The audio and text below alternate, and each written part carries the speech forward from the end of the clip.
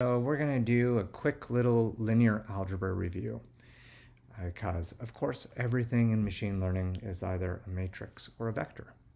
We're going to need a couple of different things from linear algebra. We're going to need the usual kinds of vector addition and matrix addition. We're going to use the dot product a lot. The dot product is the projection of one vector onto another and the output of it is a scalar number. We're going to talk about matrix multiplication.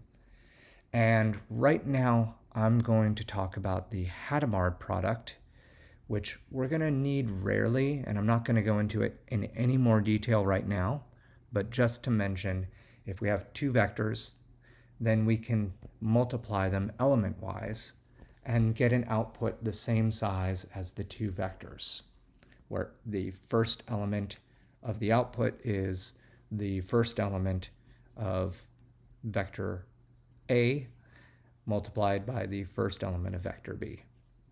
Okay, so on and so forth. Uh, we'll talk about Hadamard product again in more detail when we do need it, but again, it's going to be rarely used in general. However, the rest of this stuff, well, we need to know it. So let's take a look at vector representations and get familiar with notation.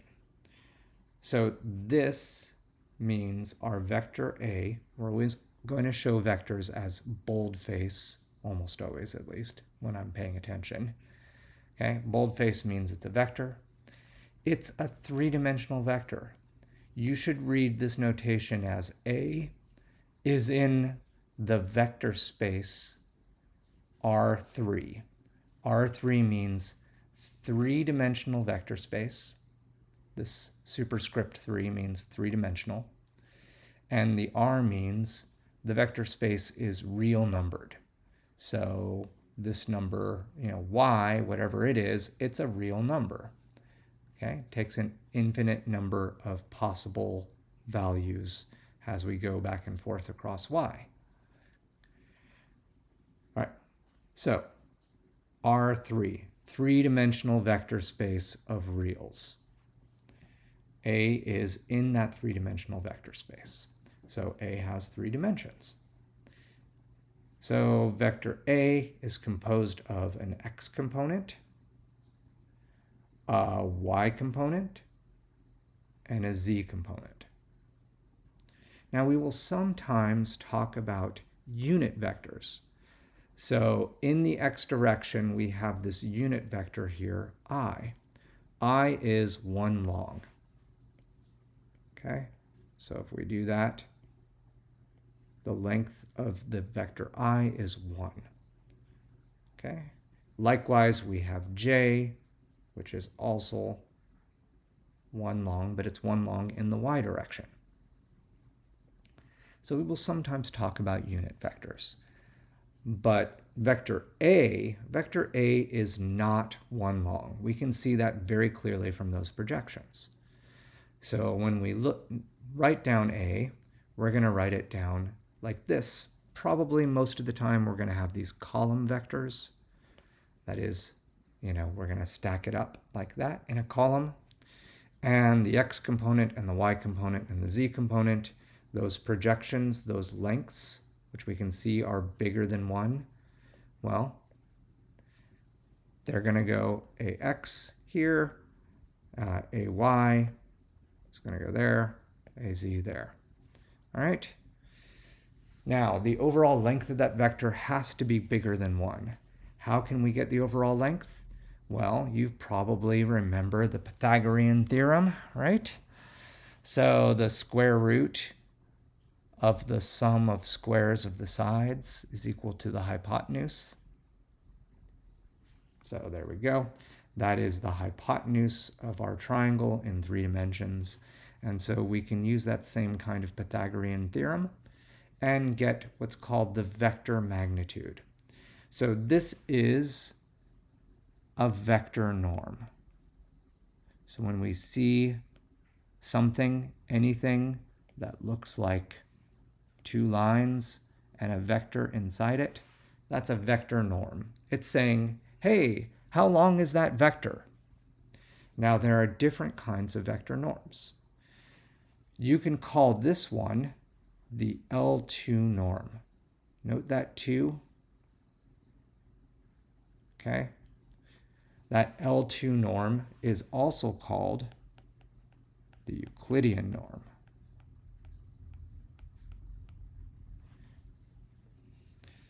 All right, so in general, we can write other vector norms, not just the L2, not just the Euclidean norm. We can take that number n and we can make it any number at all. We can generalize our Euclidean norm with the Pythagorean theorem here to any n. So an L1 norm, well, and just adding up the sides. The L1 norm is sometimes used in machine learning. Okay, an L3 norm would be the cubes of the sides and then the cube root. So all these things are possible vector norms. In general, most of the time we're talking about the Euclidean norm, so sometimes we'll just drop that 2, and that implicitly means the Euclidean norm. Okay, vector addition. Just a quick reminder, vector addition is super easy. We've got two vectors if they are the same size, only if they're the same size, we can add them together. And we just element-wise put x with x, y with y, and we get this. It's just worth remembering how that geometrically plays out. If we have a plus b, well, all we got to do is kind of shift a over so that its tail is, is on the point of b, and then follow those two together, and we get to a plus b. Okay, so we make the triangle out of them. Dot product. The dot product is a scalar projection. So I like to think of this as the sundial. So if we have a sun up here, this is my really great sun art, and it's going to hit this um, sundial, right? We're going to pretend A is a sundial. Well, A is going to cast a shadow onto B. So that's where the shadow lies, right? And that projection, right, because it is a projection, you're projecting like shining a light source of A and seeing where its shadow is on B. That projection is called the dot product.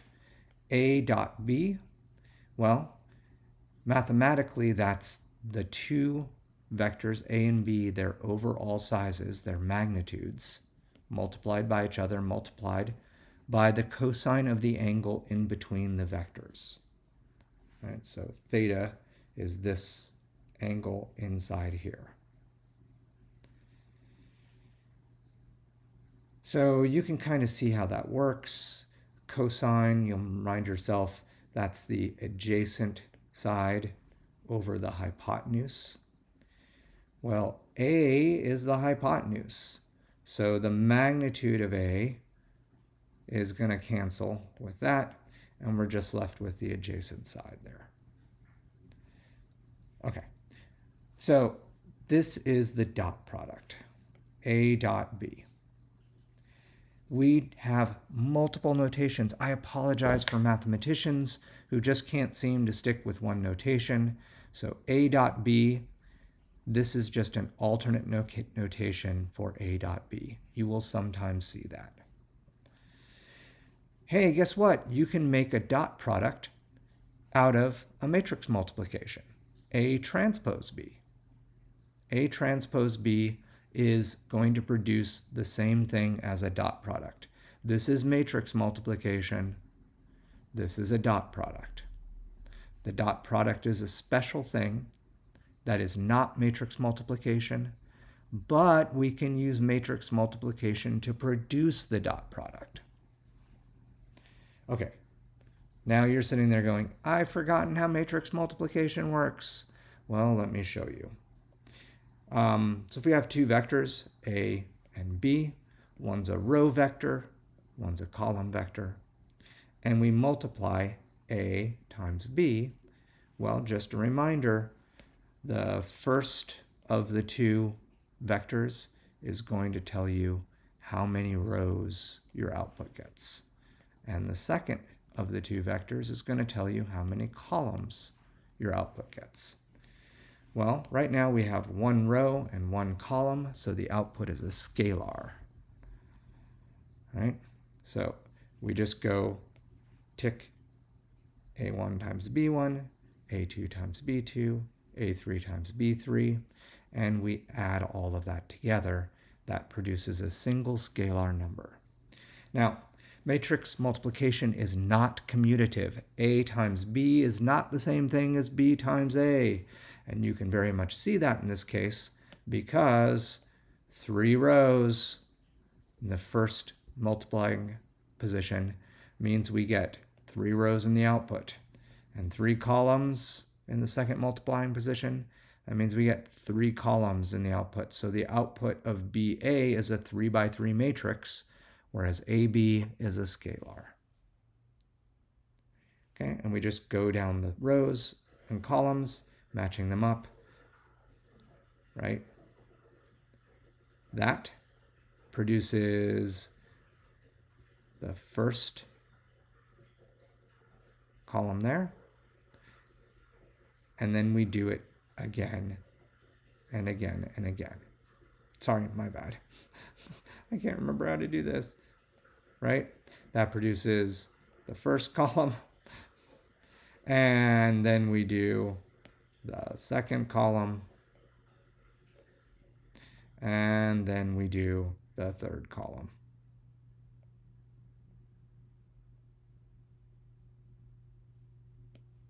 Okay? So, how does it work with matrices? Same deal. First element tells us how many rows. Second element tells us how many columns.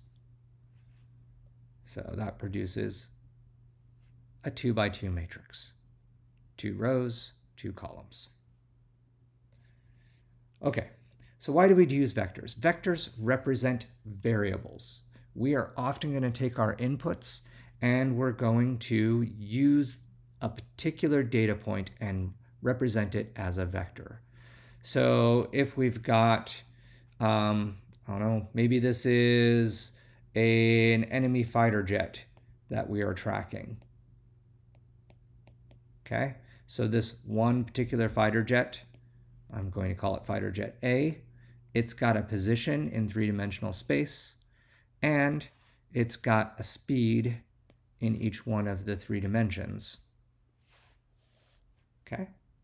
And we're going to represent the location and velocity of that fighter jet as a vector. And our machine learning system is going to try to, I don't know, predict where it's going to be so we can shoot it down.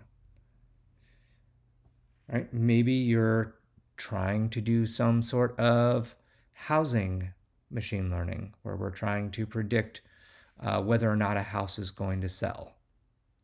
Okay, well, let's get some data for it. We can put the house price, okay, the year it's built, square footage, bedrooms, bathrooms, and put that in a vector. So let's take a look at what we got here. Everything in this first uh, vector is a real number, right? So this is a six-dimensional real vector space.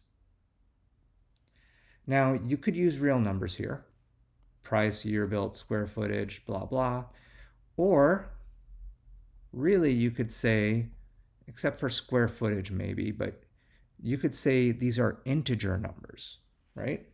These are the so-called natural numbers.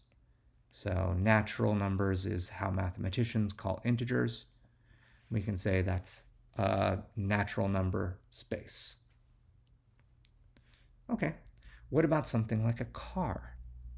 Well, a car can have a make, a model, year built, engine displacement, blah, blah, color. Now we have something a little different.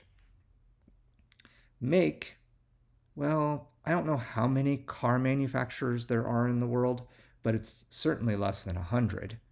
It's a small discrete number. So this is not a real valued or numeric vector space. These are categories. There are a small discrete number of possibilities. Chevy, Ford, Volkswagen, right? Likewise, models are also categories. Color is also probably a category. There's probably a discrete number of possibilities and a relatively small and countable set. So categories have to be represented a little bit differently. Let's talk a bit about that in the context of an animal, where we can measure things about the animal. So here we have sparrow, chipmunk, bat.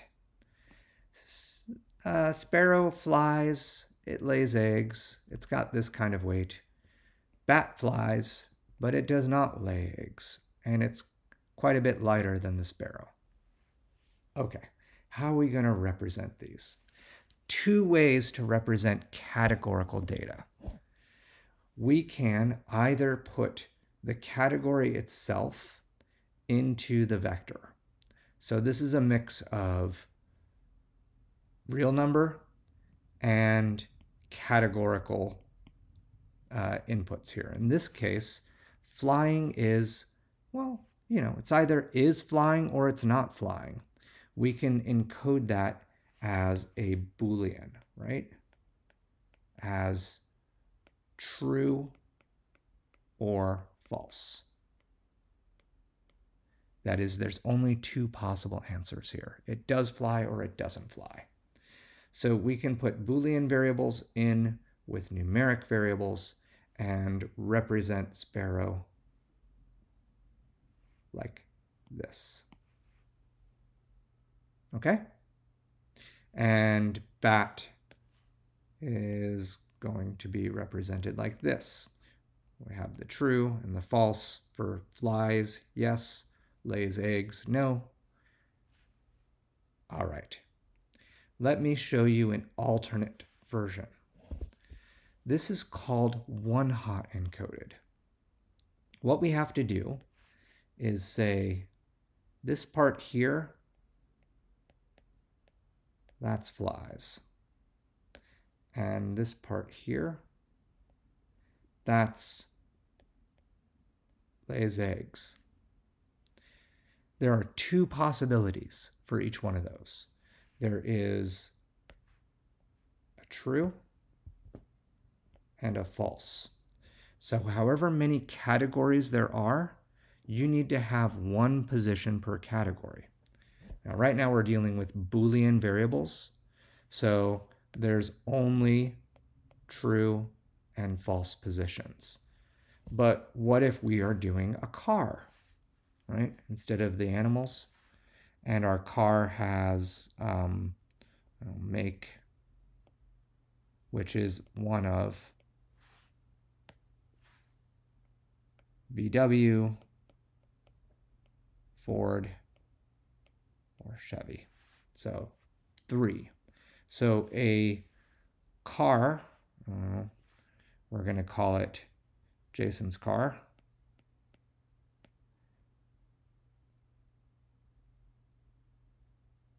I can't even spell my own name today. That's really sad. Um, so Jason's car is whatever else other variables we're talking about here. In the middle, we've got a representation that says VW somewhere in there for the make. So that would be a category encoded version of Jason's car. What would a one hot encoded version of Jason's car look like? Well, so there's three possible makes. So we're going to need three possible locations. So there's going to be um, if we're going to put VW first, then it's going to be a 1 followed by two zeros, where this is the VW position, this is the Ford position, and this is the, the Chevy position. Okay, so one hot encoding means however many possibilities there are, there are that many positions. And only one of them, mutually exclusive categories, only one of those positions can be hot, can have a one, and the rest have to be zeros. Okay, that's it. We've got you far enough along to start up with lecture on Wednesday. See you then.